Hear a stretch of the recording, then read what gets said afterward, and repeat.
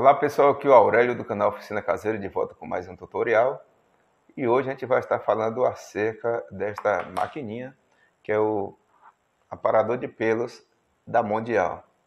Nós já temos aí um vídeo né, registrado acerca dessa maquininha, falando das funcionalidades dela, a gente está retirando lá algumas dúvidas, a gente também retira da embalagem, mostra todos os acessórios e como utilizar e hoje a gente vai estar esclarecendo algumas dúvidas que ainda restaram. As pessoas observaram o vídeo e mesmo assim ainda ficou ainda algumas dúvidas. Tá bom, pessoal? Então, é, hoje a gente vai estar aqui falando acerca da recarga e da luz piloto, né? Que algumas pessoas têm dúvida. É, limpeza dos acessórios, é, peças de reposição, quanto a utilizar o aparelho ligado direto na rede elétrica. Na verdade, pessoal, é, eu estou realizando esse vídeo após quase seis meses de uso deste aparador de pelos. Então aqui eu vou falar para vocês o que eu estou achando dessa maquininha, né? Eu vou falar acerca dos prós e dos contras, para que vocês possam aí é, fazer uma análise e decidir na hora de comprar, tá bom? Para que você possa comprar aí com convicção. Apesar de eu ter um parceiro que faz a venda dessa, dessa maquininha e de outros produtos, eu vou falar também aqui os pontos negativos do aparelho. É claro, os pontos positivos também. E vocês vão tirar aí a, a conclusão de vocês, tá bom? Então vamos lá. É, recarga e luz piloto.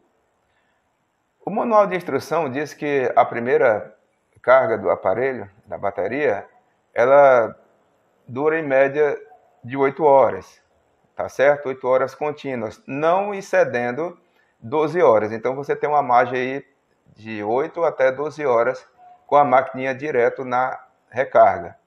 Sendo que o manual especifica que a recarga deve ser realizada após a bateria estar completamente descarregada. No meu caso aqui, como a bateria veio com uma carga bastante considerável, isto eu percebi ao ligar a maquininha, porque você percebe a potência dela, então eu não efetuei nenhuma recarga. Gravei o vídeo e efetuei todo o serviço, né, de, o teste prático, que lá no outro vídeo eu também realizo. Inclusive, vou deixar aí uma telinha final nos últimos 20 segundos, para que você possa clicar lá e você ter mais detalhes acerca dessa maquininha, tá bom? Então, nesse caso, pessoal, eu, eu só efetuei a recarga depois que esgotou toda a carga da bateria, toda a carga que veio de fábrica. E a máquina está 100% funcional. Vamos lá, com relação à luz piloto, você pode, pessoal, ligar direto na, na rede elétrica, tá bom? O manual especifica isso, porém, ele também informa que esta atividade constante, né, com o tempo vai reduzir a vida útil da bateria. Mas isso é a longo prazo, não a curto prazo. Então, é, às vezes acontece de você estar utilizando a maquininha e ela de repente ela cortar, ela parar porque esgotou a bateria. Não existe nenhum indicador de nível de bateria, tá certo? Então já aconteceu comigo. Mas isso vai acontecer depois de muito uso, pessoal. A bateria dura bastante. Mas se acontecer, porventura, de já estar no final da bateria, você está utilizando e cessar a carga da bateria, você pode utilizar aqui normalmente. Você vai plugar o seu o carregador lá na rede elétrica e o pininho aqui, o plugzinho também aqui no, no aparador de peso direto. Você pode utilizar também a base, né, que, que vem os acessórios, lá no outro vídeo eu mostro. Vocês observem aí, não sei se dá para ver aí, mas eu vou tentar aproximar mais. Aqui existe uma luz piloto, ela está acesa, indicando que está havendo aqui um processo de recarga, ou seja, a maquininha está alimentada na rede elétrica. Essa luz, pessoal, ela não vai se apagar quando a recarga for completada, tá entendendo? Quando tiver com a carga completa, esta luz não vai se apagar. Portanto, vocês fiquem atentos a partir do momento em que vocês colocam a máquina para carregar, vocês vão contar aí 8 horas, nunca excedendo as 12 horas, como eu acabei de falar. Então, É, acabou a carga da bateria, você liga, espere um momentinho, né, para que possa gerar um, já um pouco de corrente elétrica para a bateria, e depois você vai ó, ligar e utilizar normalmente. Aqui está funcionando, ó, ligado na rede elétrica, tá bom? Vou desligar aqui. Vamos aí para mais uma dúvida aí. É, limpeza dos acessórios. Pessoal, a limpeza é realizada somente com uma escovinha que acompanha o produto, tá bom? Você vai retirar aqui a lâmina, é muito simples de retirar, lá no outro, no outro vídeo também eu dou todos os detalhes. E aqui você vai observar que esse acúmulo de pelos, né? Na maquininha você vai tirando aqui, ó. Para essa parte de dentro aqui, é, não há necessidade de abrir parafuso, né? Você não, não, não, precisa chegar até aqui. O pelo só vai ficar nessa parte aqui, ó. Você vai, ó, tirando os pelos, ó. Tá até caindo aqui já uns pelinhos. E também você vai fazer o mesmo no, no acessório, aqui no caso, no exemplo, a lâmina, certo? Limpou, tranquilo, você vai encaixar. Lá também informo com detalhe como é que faz o encaixe da lâmina, tá bom? E depois de efetuada a limpeza, né? Cada uso, né? Cada vez que você utilizar a maquininha, você vai fazer a limpeza e depois você vai lubrificar a lâmina. Você deve guardar a maquininha com as lâminas já lubrificadas. Então, para isso, vem um, acompanha também o um produto, essa bisnaga de, de óleo lubrificante. Pessoal, outra dúvida, na ausência desse óleo, você pode utilizar óleo de máquina de costura, esse óleo cinza conhecido, você pode colocar. O manual recomenda que você coloque aqui de uma a duas gotas, né? Eu vou colocar aqui uma gotinha e duas. Com a lâmina, opa, com a lâmina voltada para baixo, tá bom? E depois você vai ligar a maquininha e vai deixar que o óleo ele venha se espalhar aqui por toda a região da lâmina. Depois desliga, se querendo você pode passar um paninho para tirar o excesso de óleo e aí você vai guardar a sua lâmina, tá bom?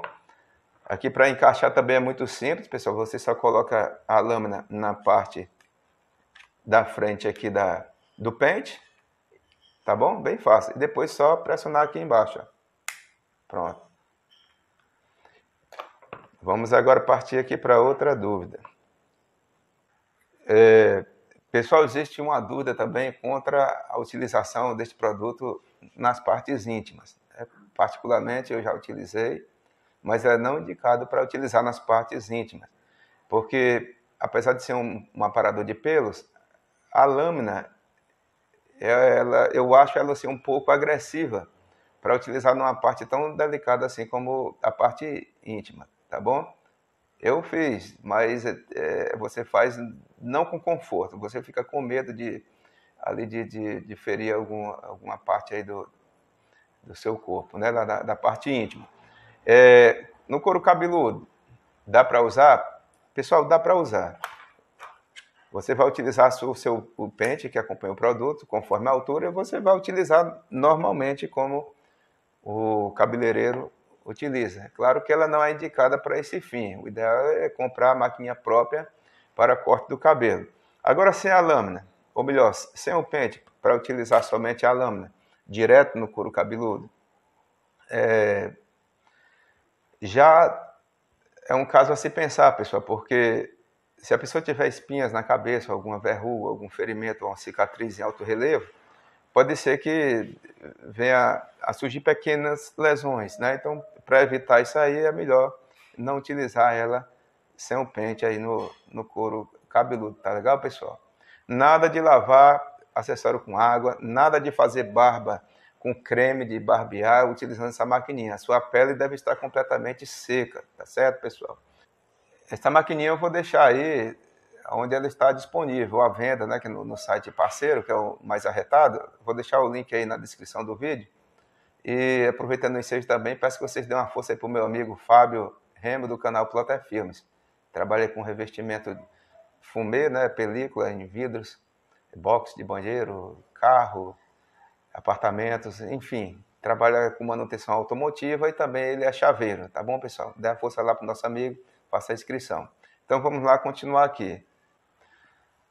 Pessoal, com relação a peças de reposição, tá bom? A Mundial ela deixou a desejar nesse quesito aí. Apesar de eu estar divulgando, de deixar o site parceiro que está é, vendendo esse produto, eu, eu vou ser sincero com vocês, eu não, não vou estar aqui passando uma informação para vocês para depois vocês venham se arrepender, não. É, é, difícil, até hoje, até a data de publicação desse vídeo, é, a questão com relação a, a você encontrar peças de reposição, né?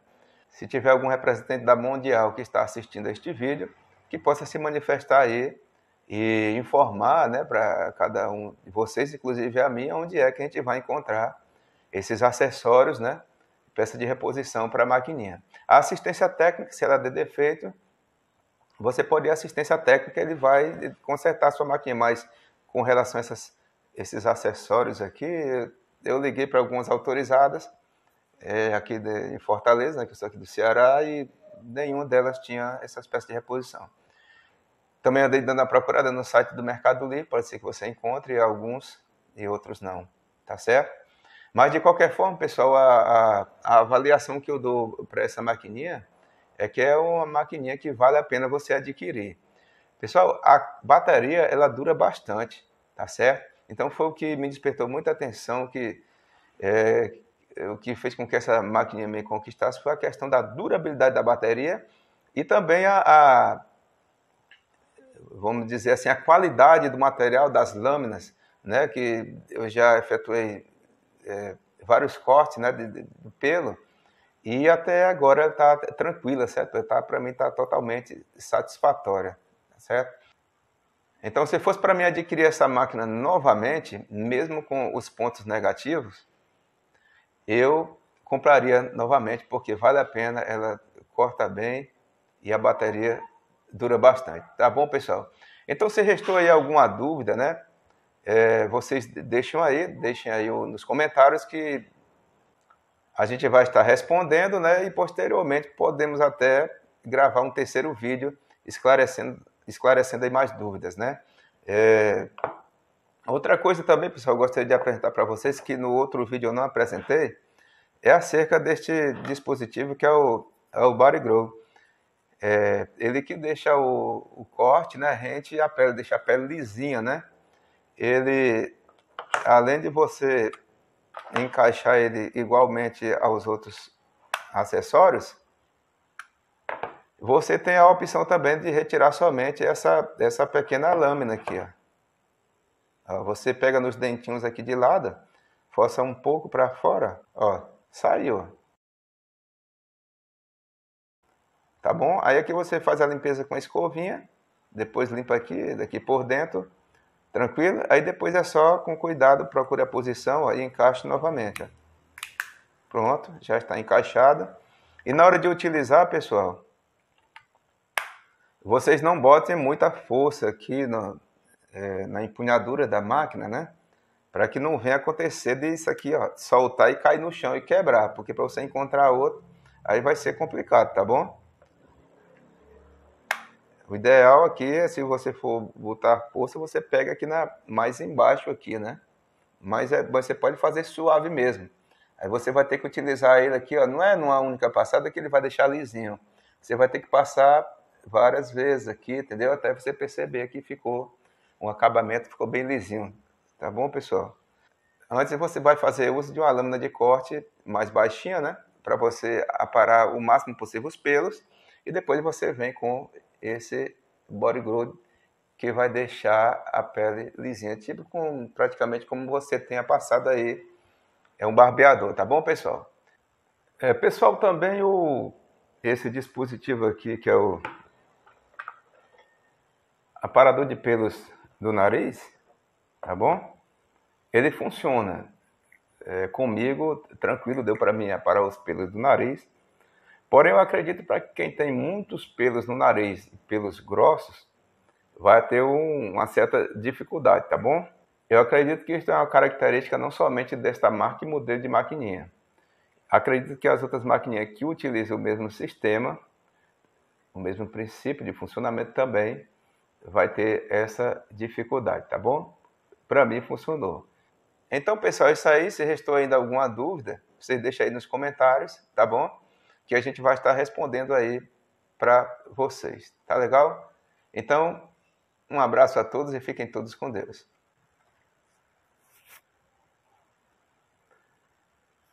Olá pessoal, aqui é o Aurélio do canal Oficina Caseira de volta aí com mais um tutorial. é de lascar, viu? Esperou só eu começar.